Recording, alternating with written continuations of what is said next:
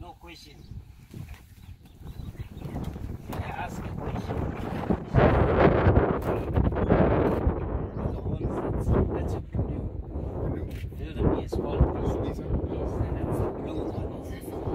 get the blue and the black wildebeest.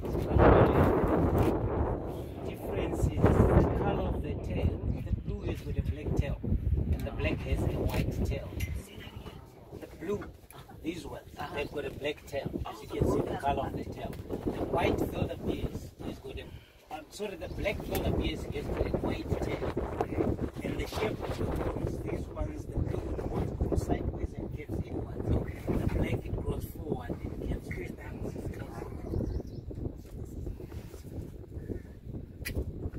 Wanted to ask you guys, how do you tell the difference between a male and a female zebra?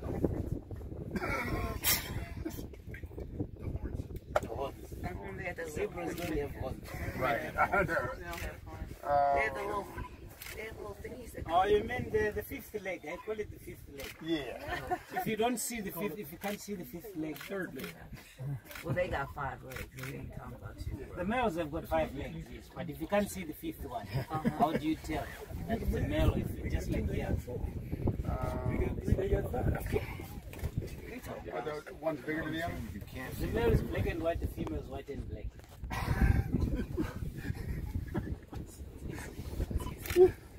Very easy. Just a joke. Now you look at the back, you see the at the back, the bums. There's a mm. black line that separates the two bums. Right. Yeah, The that's like female's black line is thick. It's a broad black line, and the male's black line is a thin black line. That's the only correct way that you can tell. You can't use the stripes. Individually, they've got unique pattern of stripes. Uh-huh. So you, it's like a fingerprint. Right. You can't use size. Females are pregnant for over a year. Between 360 390 days and they're pregnant for. So female will be bigger than the male. So the only accurate way is to look at that black line or behavior. Because uh, zebras form permanent harems, permanent family units.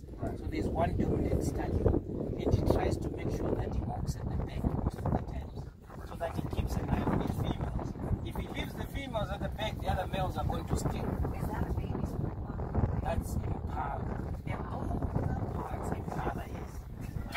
so behaviorally, the males walk at the back, but they don't stick to that rule most of the time. Sometimes Are any of your female zebras pregnant right now? most of them are pregnant heavily.